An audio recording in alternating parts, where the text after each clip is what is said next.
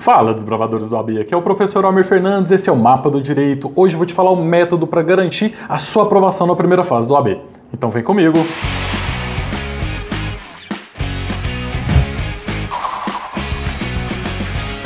Pessoal, existe uma estratégia de estudo que vai garantir que você seja aprovado na primeira fase da OAB. A gente sabe que não tem muito segredo, você vai ter que estudar. Se você estava esperando um método milagroso para você ser aprovado, eu tenho que ser muito sincero para você. Não existe. Não tem milagre. Não dá para você simplesmente da noite pro dia sei tudo e vou passar acertando 80 questões. Não é assim. Então, se você fez uma péssima faculdade, não estudou nada, foi pro bar todo dia, tomou todas, chega lá na hora de fazer o ABA, ah, agora eu quero saber tudo sem estudar? Não, não é assim que funciona. Se você estudou 5 anos, é óbvio que vai ficar muito mais fácil. Mas existe uma técnica que você pode utilizar. Na verdade, não é bem uma técnica, tá? É uma característica que você pode utilizar para garantir que você vai ter aprovação. A gente sabe que a resolução de questões é muito importante para aprovação na primeira fase da OAB. Mas por que, que a resolução de questões é tão importante? Porque é algo chamado repetição. E a repetição leva à perfeição. Se você quer ficar craque em alguma coisa, se você quer ser fera em determinado assunto, você tem que fazer essa coisa repetidas vezes. Vou te dar um exemplo. Sabe aquele ex-goleiro de São Paulo, Rogério Ceni? Quando terminava o treino do São Paulo, ele ficava mais uma hora e meia treinando cobranças de falta. Ele ficava lá cobrando falta, cobrando falta, uma hora e meia todos os dias. E qual qual foi o resultado disso? Ele se tornou um especialista, foi o maior goleiro da história em cobranças de falta, em fazer gol de falta. Mas isso porque a repetição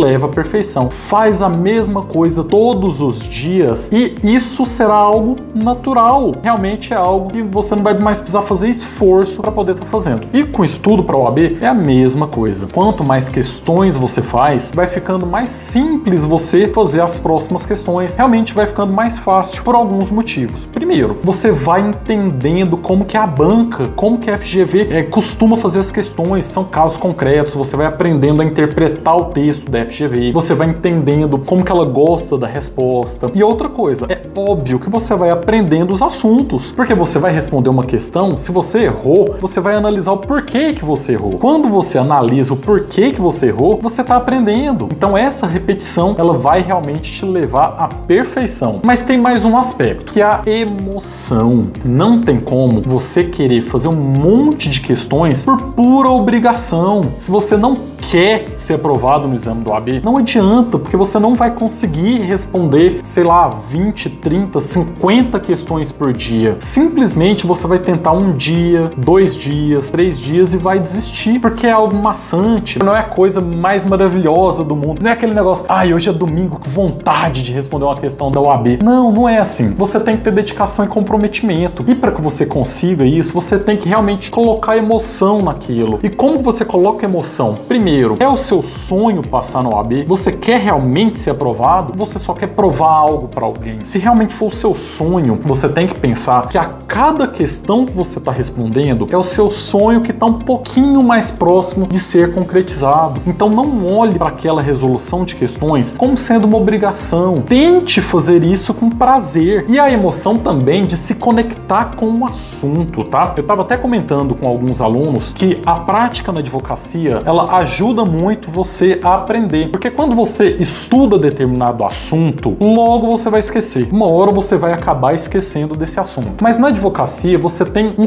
caso concreto que realmente aconteceu. Você se envolveu emocionalmente com aquele caso ali e isso você nunca mais vai esquecer. Então eu às vezes eu lembro de um caso que eu tive há, sei lá, 3, 4 anos atrás, ou então há 10 anos atrás, quando eu comecei a fazer um estágio, e eu ainda lembro ali daquele caso e nunca mais mais esqueço. Então, quando você está respondendo questão, você tem que tentar se conectar com aquela história, tá? É um caso concreto ali de determinada pessoa, se coloque no lugar daquela pessoa, tá? Isso vai fazer com que você consiga também fixar muito mais o conhecimento. E tem um outro aspecto que é muito importante, que é a velocidade na resolução das questões. Olha só, você sabe quanto tempo você tem para resolver uma questão da primeira fase do OAB? 3 minutos. 3 minutos. É pouquíssimo tempo. É um pouquinho mais de 3 minutos, tá? Entre 3 minutos e 3 minutos e meio. Porque são 80 questões, você tem 5 horas, mas você tem que tirar meia hora ali para poder estar tá passando essas respostas pro gabarito. Agora, como que você vai fazer? Quando você começar a resolver questões, não se preocupe em fazer elas correndo, vai com calma.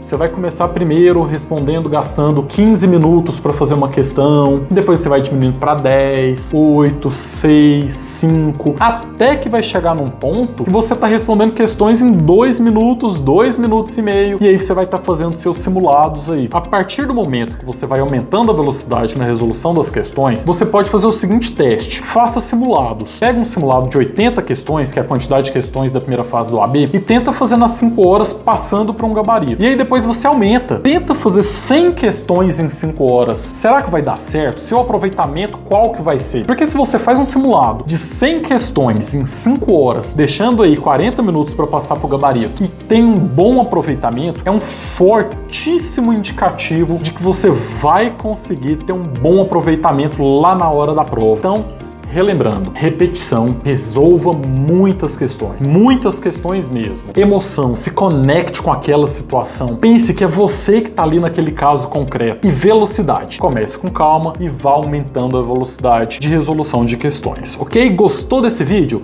Curta, se inscreva no nosso canal e ative as notificações e também se inscreva nas nossas redes sociais e vem comigo traçar o mapa da sua aprovação no OAB.